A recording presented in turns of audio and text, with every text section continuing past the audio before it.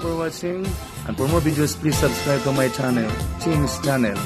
Don't forget to click the notification bell to be notified for new uploaded videos. Hope you like our videos and don't forget to share it to your families and friends.